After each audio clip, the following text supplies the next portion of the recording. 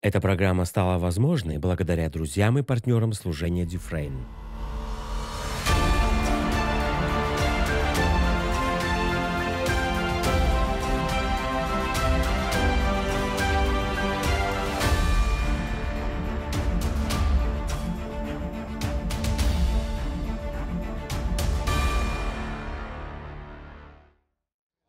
Первая Коринфянам, вторая глава. Первая Коринфянам, вторая глава, четвертый стих.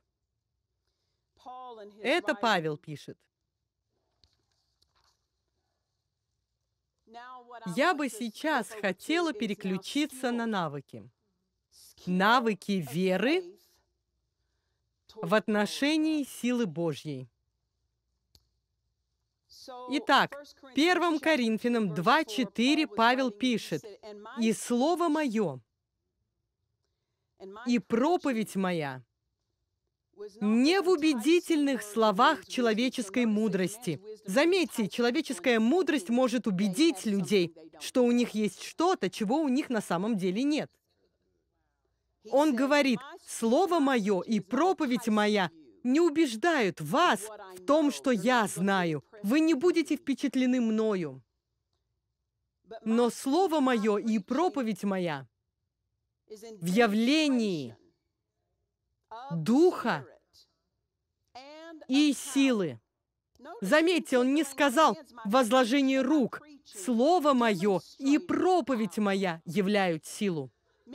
То есть люди освобождались, когда он говорил. Люди получали ответы, когда он говорил. Люди получали откровение, когда он говорил. Сила была доступна через его речь. Вот что такое навык.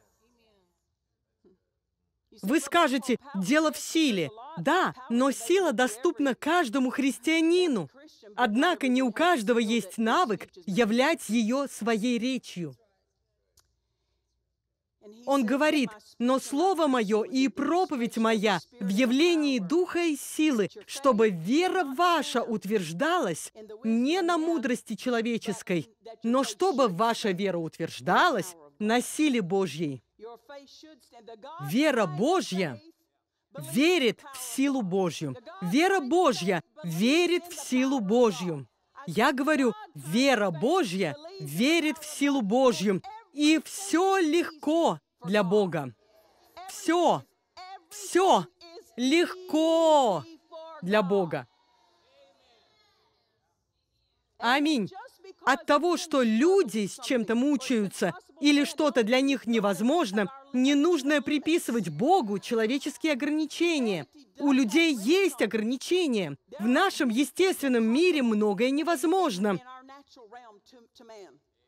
Определенные вещи просто невозможны для людей. Но не приписывайте Богу те же ограничения. Он не человек, чтобы ему лгать. То, что тяжело для нас, легко для него. Легко, легко, легко, легко, легко, легко, легко, легко, легко. Ваша нужда легка для силы Божьей. Ваша нужда легка для силы Божьей. Это легко. Так легко. Вот это правильная версия веры в силу Божью. Ваша вера должна утверждаться не на мудрости человеческой, но на силе Божьей. Однажды Иисус явился папе Хегеном. Эти явления вы должны знать, их нужно анализировать, чтобы не утерять и чтобы передать их этому поколению. Потому что этот свет нам настолько необходим, чтобы возрасти в навыках. Однажды Иисус явился папе Хегену и сказал, «Когда я был на земле, я был силой Божьей». Он говорит о трех годах его земного служения. Когда я был на земле, я был силой Божьей. И если люди нуждались в чуде, если они нуждались в силе, им нужно было прийти ко мне. Поэтому люди толпились вокруг меня. Так он сказал папе Хейгену, что люди толкались и толпились, следовали за Иисусом повсюду, потому что они осознавали, что текла сила, что они получали помощь для своей жизни.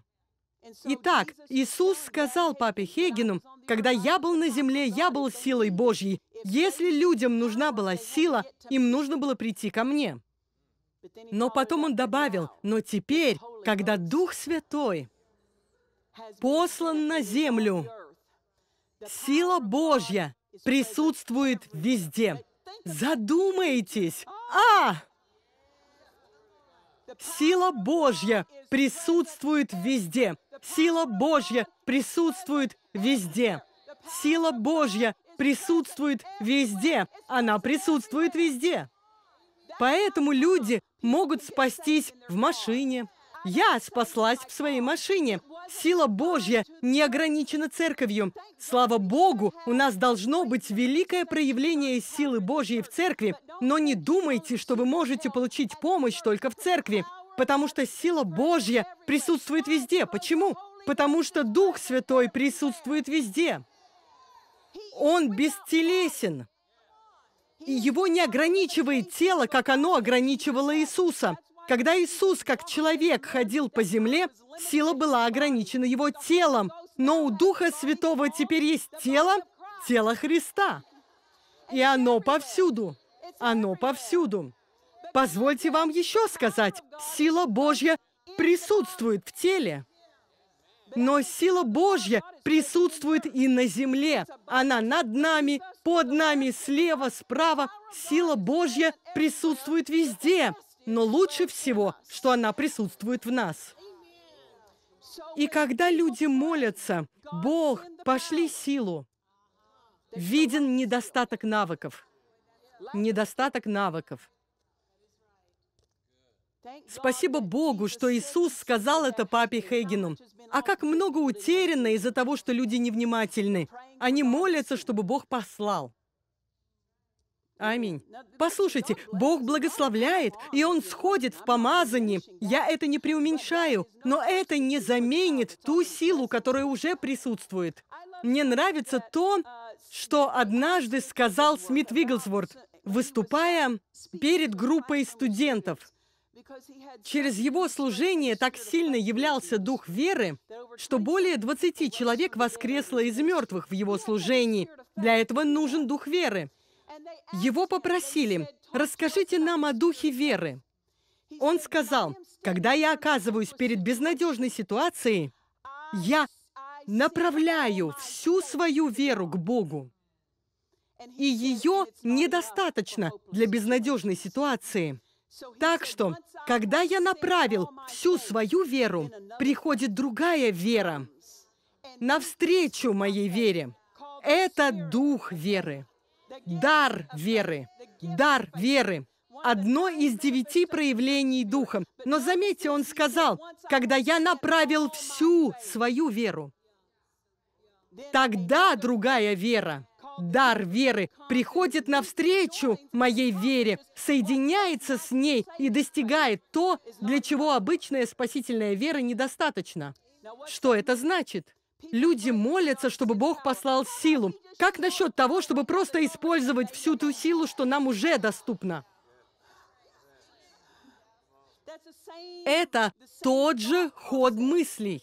Люди молятся, чтобы Бог послал силу, хотя даже не использовали то, что им уже доступно. Помню, один проповедник рассказывал, как он молился в самом начале своего служения «О Бог, говори ко мне!» В течение трех недель он и постился, и молился. «О Боже, говори ко мне, говори ко мне, говори ко мне!» И через три недели Бог сказал, «Почему бы тебе просто не читать мое слово? Если мне нужно будет сказать тебе что-то еще, я скажу». Что он имеет в виду? Почему бы вам не использовать то, что вам уже доступно? Перестаньте ждать чего-то чрезвычайного. Дух Святой присутствует на земле. Сила присутствует на земле. Она в нас, она вокруг нас. Она находится в ожидании веры, которая не сдается. Неотступной веры. Аминь. Послушайте, сила присутствует в вашей машине прямо сейчас. Сила присутствует у вас на кухне. Сила присутствует в вашем кабинете прямо сейчас. Поэтому вы можете приводить людей к спасению где угодно на земле, где угодно. Почему? Потому что сила для спасения присутствует. Поэтому люди могут исцеляться где угодно. Почему? Потому что сила для исцеления присутствует. Поэтому люди могут освобождаться где угодно, потому что сила для освобождения присутствует. Она присутствует, присутствует, присутствует. Именно об этом говорит Павел, что ваша вера должна утверждаться не на мудрости, не на том, в чем вы способны разобраться, а ваша вера должна утверждаться на силе Божьей. На какой силе? На той силе, которая уже присутствует. Имейте веру в силу, которая внутри вас. Это то, что Иисус сказал в Деяниях 1.8. Но вы примете силу, когда сойдет на вас Дух Святой.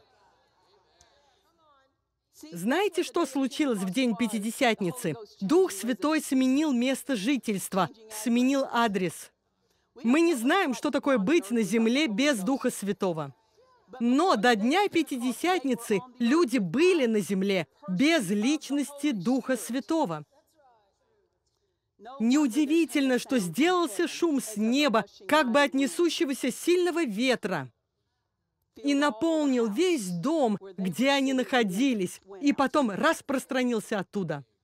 Почему? Кто-то сражался, и Дух Святой смог прийти на то место. И потом распространился по всей земле через эту открытую дверь их веры. Поэтому Иисус сказал, идите в Иерусалим и ждите там. Почему? Сражайтесь. Дух Святой придет. Сражайтесь за это. Что они делали? Они в вере ожидали, они ждали. Они высвобождали свою веру. Они приходили в единство, в единодушие. Аминь.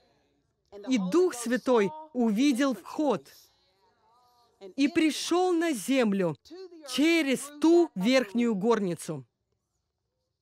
Слава Господу! И об этой силе Иисус говорил, Поскольку Дух Святой присутствует везде, сила присутствует везде. И вот на чем многие спотыкаются. Запомните, сила невидима и неощутима. Люди часто верят только в ту силу, которую способны ощутить. Они думают, что если они не могут ее почувствовать, значит, она не присутствует. Сила, которая присутствует везде, невидима и чаще всего неощутима, но она все равно присутствует. Вы способны верить в силу, которую вы не чувствуете, в силу, которую вы не видите. Вы когда-нибудь бывали у зубного врача, и вам делали рентген зубов? Вы знаете, что делает врач? Он надевает тяжелый фартук на ваши жизненно важные органы. Почему? Потому что сила потечет по этому помещению, и от нее нужно защитить ваши жизненно важные органы. Поэтому этот фартук врач кладет на ваши жизненно важные органы, а сам что делает? Выходит. Выходит. Прячется за углом и нажимает на кнопку, и вы слышите бзз. Вы ничего не увидели, ничего не почувствовали, но сила все равно текла. Сила все равно текла. Неважно, видим ли мы ее, чувствуем ли мы ее, сила все равно течет, когда вера активизирует ее. Аминь.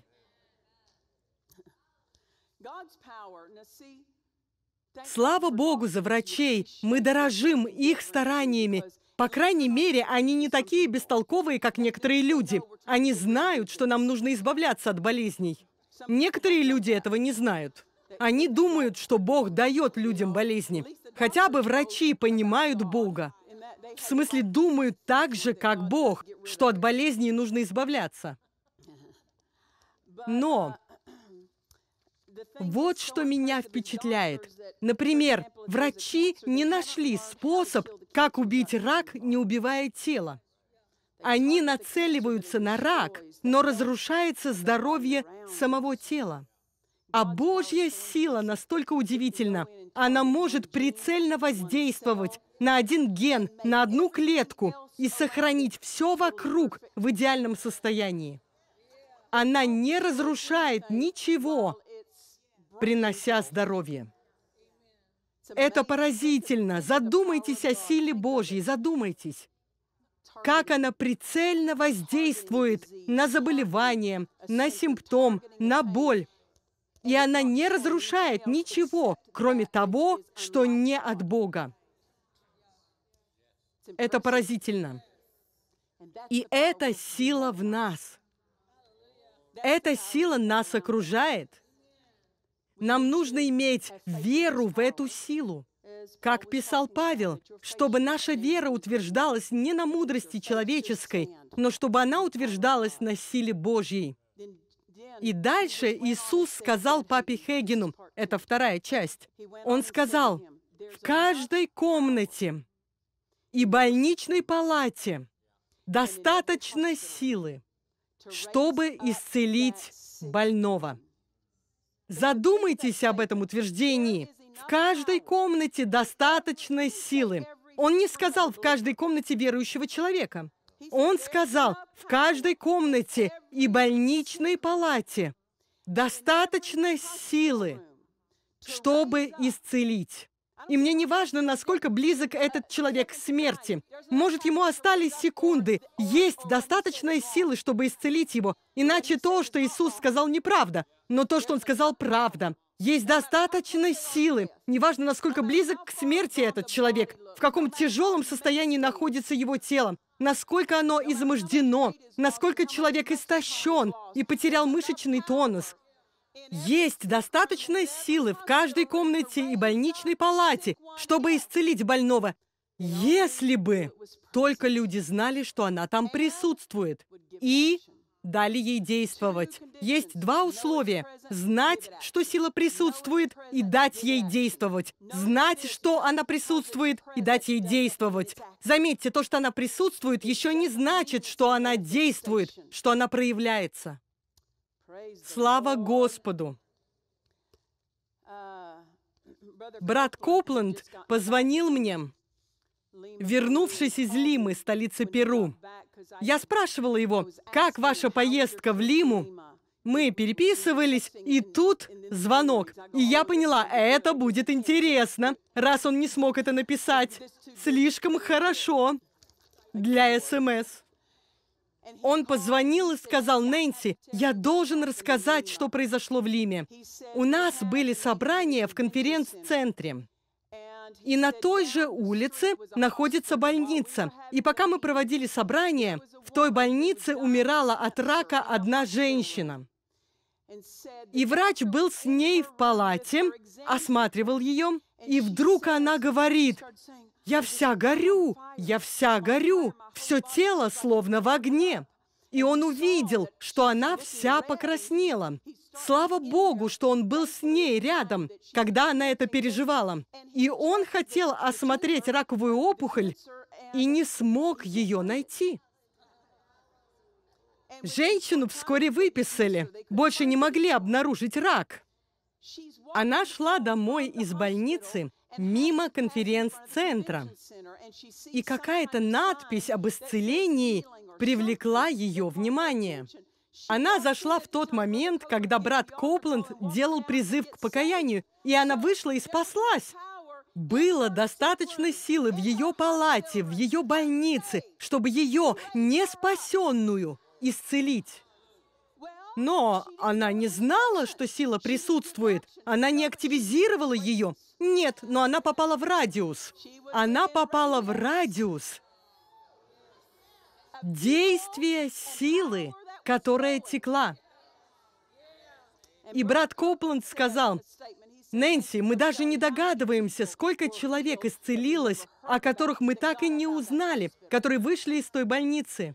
И я сказала, брат Копленд, вы же помните свидетельство Марии Вудворд Эттер, записанное в ее книге, о том, как в радиусе 50 миль люди падали под силой Божьей, у себя дома, в дороге, ехали в фургонах и падали на землю под силой Божьей. Почему? Потому что кто-то знал силу, верил в силу, умело обращался с силой и делал ее доступной. И она распространялась вокруг и благословляла тех, кто не имел ни малейшего представления о ней, не обладал никакими навыками или пониманием силы, но кто-то в центре этого круга знал о силе. Некоторые из вас просто сидят и смотрят на меня. Я не понимаю, как вы можете сидеть спокойно. Я просто не понимаю. Меня это приводит в восторг. Ух! Нужен всего один человек, обладающий навыками, имеющий Божью веру в эту силу. Нужен всего один человек, и сила будет действовать в радиусе от него. Вокруг будет активизирована та сила, которая присутствует. Недостаточно того, что сила присутствует. Она должна проявиться. Что заставляет ее проявиться? Вера. Я как-то уже проповедовала о силе Божьей, о том, что она присутствует много лет назад здесь, в церкви. Точно так же, как электричество всегда присутствовало в атмосфере, но никто не был любознательным не задавал вопросы, не брал на себя инициативу, чтобы воспользоваться этой силой, пока однажды Бенджамин Франклин, смотря на молнию в небе, не осознал, что это сила. И он задумался, могу ли я инициировать контакт? Могу ли я намеренно вступить в контакт с этой силой, не дожидаясь, пока она придет ко мне пойти и взять ее? Он запустил воздушного змея, эта история нам известна, с ключом на конце троса и получил настоящий заряд. Он смог инициировать контакт с силой. Почему? Он заинтересовался. Он заинтересовался. Он заинтересовался. И он не остановился на любопытстве. Хорошо, я выяснил, что могу это сделать. Нет, он сказал, минутку, что если я смогу сохранить эту силу, а потом использовать. Использовать эту силу. И именно этим он и его соратники занялись. Со времен Адама электричество присутствовало в атмосфере, но никто не умел с ним обращаться. То, что сила присутствует, еще не значит, что она кого-либо благословляет. Сила Святого Духа присутствует, но ей нужно проявиться, чтобы благословить кого-то. Сила присутствует и в театре, но немногие сегодня исцеляются в театре. Почему?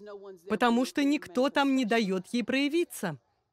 Вера в силу Божью активизирует ее. Именно поэтому Павел сказал, что вера ваша должна утверждаться не на мудрости человеческой, а на силе Божьей. Почему? Потому что когда ваша вера связана с силой, она ее активизирует. И тогда она благословляет людей, которые не имеют ни малейшего представления о благости Божьей, о том, как принимать, о том, как активизировать силу. Мы можем активизировать ее ради тех, кто не знает. Как благ Господь! Просто нужен кто-то, кто знает.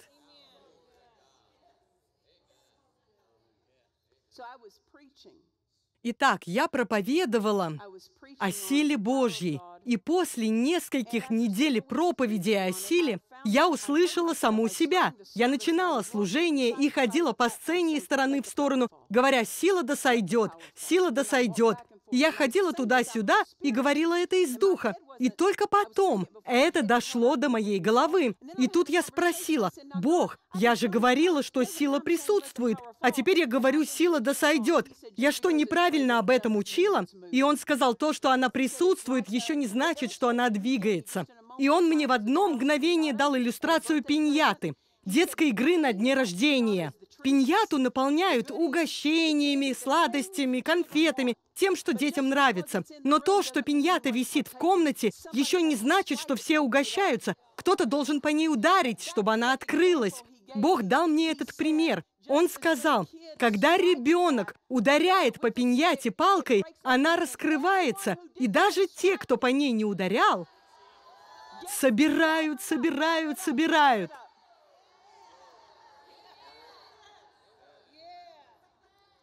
Да. И он сказал, слова веры – это та палка, которая высвобождает силу Божью. Слова веры. Я верю в силу Божью. Вот что приводит в движение силу. И она проявляется. Если она не проявляется, неважно, что она присутствует. Это практически преступно, что сила присутствует, а при этом люди ничего не получают. Это практически преступление с нашей стороны не быть умелыми, когда так многие в этом нуждаются. Когда так многие в этом нуждаются. Аминь. А. Нужен всего один человек. Брат Норвелл нам рассказывал, как однажды он ехал в машине с папой Хегеном, они остановились на светофоре, и хромой шел по пешеходному переходу. И брат Норвелл сказал папе Хегену, «Воля ли Божья исцелить этого человека?» И брат Хеген сказал, «Да, если кто-то заплатит цену». Что он имел в виду? Иисус уже заплатил цену за исцеление. Что же он имел в виду? Если кто-то заплатит цену, чтобы стать умелым в той исцеляющей силе, которая доступна. Позвольте вам сказать, навыки и сила требуют посвященности. Аминь? Нет, не чтобы что-то заработать, но невозможно совместить любовь к миру с верой в силу. Вас не будет интересовать ничто другое. Когда вы начнете черпать из этого великого потока, вы поймете, это все просто меня больше не интересует. Папа Хеген говорил о цене. Послушайте насчет цены. Если машина стоит 100 тысяч долларов, и вам говорят, мы ее вам отдадим за 10 тысяч, я заплачу цену, и причем буду рада ее заплатить из-за того, что я получу за эту цену. Так? Так вот, когда мы слышим о том, что надо заплатить цену, у людей возникают негативные ассоциации. Какой бы ни была цена за то, чтобы стать умелыми, не чтобы что-то заработать, а чтобы стать умелыми, вам посчастливилось из-за того, что доступно, когда действует эта сила. Аминь. Аллилуйя. Мы надеемся, вам понравилась сегодняшняя программа. Посетите наш сайт dufraneministries.org, чтобы узнать о ближайших собраниях, поделиться своим свидетельством или обратиться с молитвенной просьбой. Эта программа стала возможной благодаря друзьям и партнерам служения Дюфрейна –